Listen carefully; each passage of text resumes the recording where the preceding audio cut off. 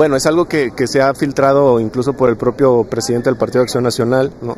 Es una carpeta de investigación que se está integrando, que está en etapa de, de investigación en este momento y que se están determinando eh, si existen los elementos suficientes para en su momento judicializar o eh, incluso ver, pues ahora tiene el fuero, si hay, si hay alguna procedencia, un juicio de procedencia. ¿no?